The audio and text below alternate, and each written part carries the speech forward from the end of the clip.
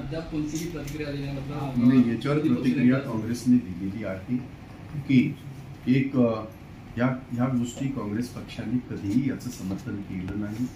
या गोष्टीचा निषेध हा काँग्रेसने केलेला आहे. मी सुद्धा या गोष्टीचा निषेध करतो. व्यक्तिगत काय असू शकतं?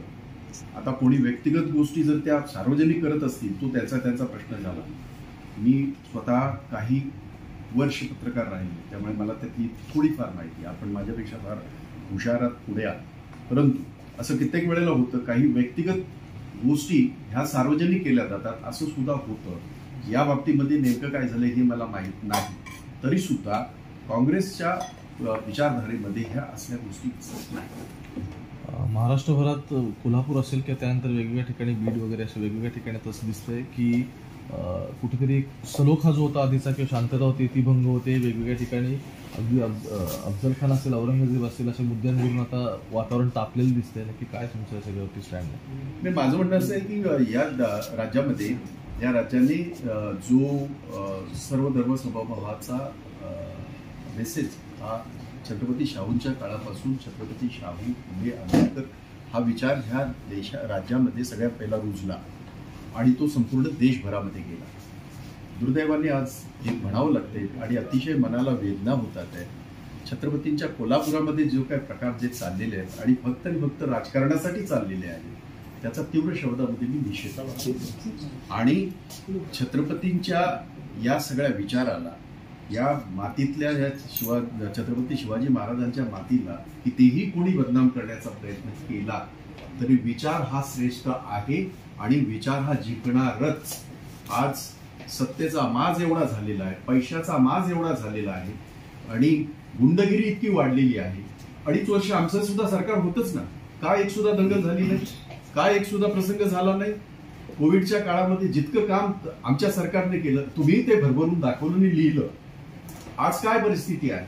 त्यामुळे मला असं वाटतं की आपल्या सगळ्यांना एक जबाबदारी आहे.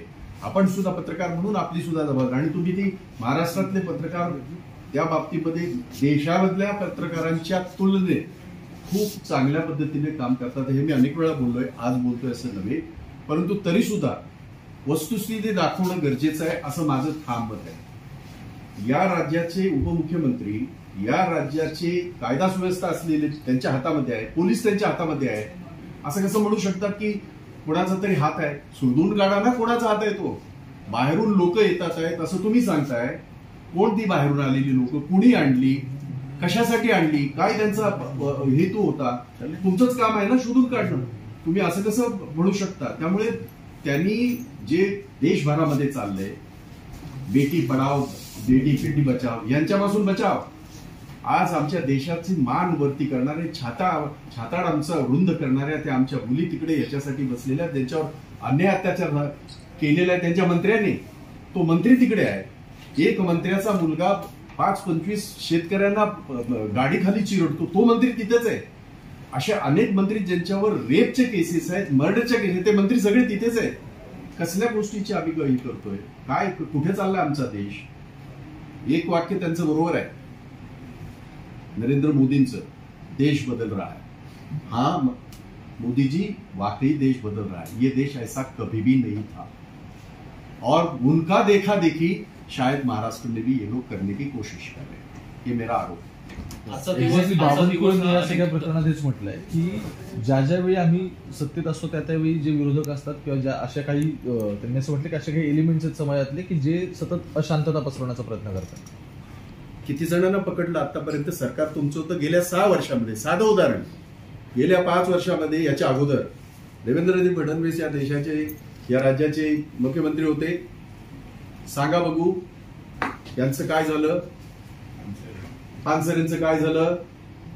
का पानस पान कोणी मारलं? कोण होते ते? कोणाचे समर्थक होते? उघड उघड धमक्या कुणाला देत होते? पत्रकारांना देत होते? निखिल वागळेंना धमकी दिली होती घरात घुसून मारू वगैरे वगैरे आठवतंय का तुम्हाला सगळ्यांना? दाभोळकर कोण होते? त्यामुळे त्यांच्या काळामध्ये हे सगळे कोण होते शोधून काढा ना. आणि त्यांना दंडित करा. आमच्या सरकारने आमच्या काळामध्ये झालेले गैरव्यवहार असतील अगदी हर्षद मेहता पासून खून असतील शोधून काढले आणि ते सगळे जेलमध्ये आहेत. यांच्या काळामध्ये जेलमधले बाहेर आलेले आहेत आणि ते सगळा देशभर स- सगळा दंगानाच करतात आहेत. महाराष्ट्रामध्ये तेच तुम्हाला आणि आम्हाला पाहायला मिळते. दुर्दैवाने. तुमचे मित्र मित्रपक्ष शरद पवार असतील किंवा संजय राऊत. आणि त्यांचे भाऊ सुनील राऊत. राऊत. यांना सातत्यानं धमकी येते. आज देखील धमकी आलेली आहे. कसं पाहता एकंदरीत? माझं म्हणणं असं आहे की आपण आप- माझाच प्रश्न आपल्याला सुद्धा आहे. आणि हा एक सर्वसामान्य म्हणून आहे. ते माझे मित्र आहेत किंवा आमचे मित्र आहेत हे बाजूला ठेवा. ज्या माणसाने ह्या देशामध्ये पंचावन्न ते साठ वर्ष रा- राजकारण केलं आदरणीय पवार साहेब आज जर त्यांना धमक्या येत असतील तर तुमची आणि आमची काय कथा आहे? म्हणजे ही परिस्थिती जर हे कधी युपी मध्ये सुद्धा आपल्याला पाहायला क्वचितच मिळायचं. जो जो जो तिथला हे आहे तो राजा जो आता एक राजा तिकडे फिरतोय. इथे महाराष्ट्रात तर नव्हतो हो असं. हे काय चाललंय? म्हणजे संजय राऊत असतील त्यांचे भाऊ असतील पवार साहेब असतील आणि कोण असतील अगदी त्यांच्याही कुणाला जर धमक्या येत असतील तरी सुद्धा त्याचा आम्ही निषेध केला होता. आठवत असेल तर बघा देवेंद्र फडणवीस यांना काहीतरी अशा प्रकारे काहीतरी हे आलं होतं किंवा त्यांच्या अध्यक्षांना कुणाला तरी आशिष शेलारांना. त्यावेळेला आम्ही स्वतःहून सांगितलं की अजिबात चालणार नाही हे सगळं. जे कोण असतील याच्या मुळाची त्या सगळ्यांना शोधून काढा आणि त्यांना त्यांच्यावर केसेस घ्या त्यांना दंडित करा त्यांना त्यांना शासन झालं पाहिजे. आज काय चाललंय हे सगळं? आणि म्हणून हा छत्रपतींचा महाराष्ट्र हा पूर्णतः बदनाम करण्याचं षडयंत्र आणि पाप या राज्यामध्ये चाललंय याचं अतिशय मला वाईट वाटतं. सर मुख्यमंत्री त्यांच्या ट्विटमध्ये असं म्हणतात की जेव्हापासून सर्वोच्च न्यायालयाचा निकाल आलेला आहे तेव्हापासून औरंगजेब आणि टिपू सुलतानाचं उदात्तीकरण काही लोक करतात आणि त्याच्यामुळे महाराष्ट्राचं वातावरण बिघडतं आता त्यांनाच विचारा की औरंगजेबाचं आणि टिपू सुलतानाचं जे काय समजा त्यांना जे काय वाटतंय कारण ह्या देशाचा जो इतिहास आहे भूगोल आहे नागरिकशास्त्र आहे पूर्वीपासूनचा इतिहास म्हटलं मी तो बदलता येत नाही. हे काही करू शकतात. मोदी हे तो मुमकिन आहे सब कुछ मुमकिन है पर इतिहास आप बद, नहीं बदल सकते. आप इतिहास नया बनाओ कोई प्रॉब्लेम नाही. पुढचा नवीन इतिहास बनवा काही हरकत नाही. परंतु आहे तो इतिहास जर तुम्ही हे करत असाल आणि त्याचा जर फायदा तुमच्या स्वार्थासाठी करून घेत असाल तर मला नक्कीच या ठिकाणी सांगावंसं वाटतं. माझ्या शाहू फुले आंबेडकरांच्या या महाराष्ट्राला ही गोष्ट अतिशय लाजीरवाणी लाज वाटणार की देवेंद्र सर्वोच्च न्यायालयाचा फडणवीसांचं- निकाल आल्यानंतर अशा गोष्टी घडतात. नाही त्यांना विचारा त्यांनाच ते विचारा मला विचारण्यापेक्षा सर्वोच्च न्यायालयाचा निर्णय खऱ्या अर्थाने हा कशा प्रकारे कुणाच्या विरोधात आलाय ते आता त्याच्यावर एक चर्चाक्षेत्र होऊ शकेल. या घडीला एका प्रश्नामध्ये उत्तर देण्याचं ते उत्तर नाही. आणि म्हणून मला असं वाटतं की समजा असेल एक मिनिटापुरता आपण राज्याचे प्रमुख आहात. तुम्ही प्रमुख म्हणून घ्या हातामध्ये सगळी सूत्र. आणि त्याच्या याच्यामध्ये काढा त्याचं शोधून सगळं. काय काय प्रॉब्लेम काय? तुम्हाला अडवलंय का कोणी? नाही ना. आम्हाला आठवतं ना स्वतः आमचे अगदी यशवंतरावांपासून आमचे जेवढे मुख्यमंत्री झाले कधीही या महाराष्ट्रामध्ये गैरविचार हा कधी फोपावून दिला नाही. अगदी थेट शेवटपर्यंत अगदी उद्धव ठाकरे जरी होते तरी हिंमत दाखवली त्यांनी याच्यामध्ये सभागृहामध्ये सांगण्याची की मी हिंदू हिंदुत्व मानणार आहे हिंदू आहे परंतु माझं हिंदुत्व म्हणजे माझे आजोबा जे आहेत त्यांना सुद्धा तुम्ही विसरू नका. तो विचार त्यांनी बोलून दाखवलाय मी सांगतोय का? तुम्ही दाखवला तो. आणि म्हणून माझं स्पष्ट सांगणं आहे तुम्ही सत्तेत असताना तुम्ही हे पळवाटा का शोधताय? तुम्ही शोधून काढा. कोण जो असेल कोणी का असेल ना तुम्ही शोधून काढा आणि त्याला त्याच्यावर केसेस घ्या त्याला दंडित करा. हे काम असतं सरकारचं. देवेंद्र फडणवीस राजीनामा एकनाथ शिंदे हातात सूत्र का? नाहीत का असं तुम्हाला म्हणायचं तुम्हाला काय म्हणायचं ते तुम्ही म्हणा. मला जे म्हणायचं तर मला बोलण्याची ताकद आहे हिंमत आहे. त्यामुळे मला त्याची ही काय वाटत मला नाही असं म्हणतं की गृहमंत्री आम्ही याच्या अगोदर अनेक वेळेला मोदीजींचाच राजीनामा मागितला. आम्ही अनेक वेळेला. परंतु जे संवेदनशील असतात देशामध्ये परवा झालेली घटना रेल्वे अपघात आठवा बघू. अगदी शास्त्रींपासून आठवा. कित्येक मंत्र्यांनी राजीनामे दिले. आठवा बघू. अगदी हे असतील माधवराव शिंदे असतील अगदी मिश्रा आमचे रेल्वे मंत्री होते ते असतील. अशा अनेक लोकांनी जबाबदाऱ्या घेऊन आपल्या पदाचा राजीनामा आठवते ना तुम्हाला सगळ्यांना? तुम्ही नवीन आहात तरी पण त्याचा अभ्यास असला पाहिजे. आता काय चाललंय त्या मंत्र्याने दहा दिवस अगोदर सांगितलं आता सगळं आल मला आहे. कवच आहे. कुणाला कवच आहे? सर्वसामान्याला गरीबाला कवच आहे का? तर नाही. पण असं सगळं चाललंय सगळं. त्याच्यामुळे त्यांचे राजीनामे मागून त्यांना मोठं बनवायचं नाही. तुम्ही तुमचं काम मात्र योग्य करत राहा आणि तुम्हाला आम्ही आमचा जाब विचारत राहा. भाई पाहायला गेलं तर मुंबई ही फ्री आणि मुलींसाठी सेफ मानली जाते. सातत्यानं काही महिलांवर अत्याचार अन्याय होते. काँग्रेसची याबद्दल काय भूमिका? मी पत्रच लिहिलेलं आहे. आपल्या माहितीकरता सांगतो. आपलं एक वाक्य थोडंसं दुरुस्त करतो. तुमचा आशय तोच आहे. आतापर्यंत मुंबई सेफ होती. आता नाही.